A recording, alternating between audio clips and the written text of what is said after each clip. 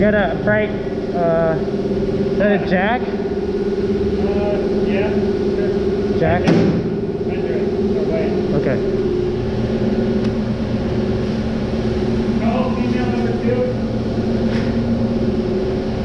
Freight jack, 2952.